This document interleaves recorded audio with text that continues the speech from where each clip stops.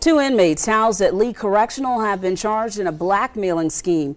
Greenville police say 59-year-old John Dobbins Jr. and 43-year-old Carl Smith Jr. pretended to be the parents of a 17-year-old girl and told a veteran that he had sent her explicit photos.